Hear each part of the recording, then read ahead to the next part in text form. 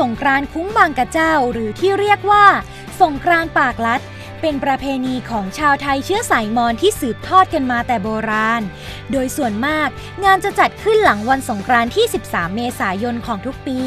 โดยในปีนี้จัดขึ้นในวันที่ 21-23 เมษายน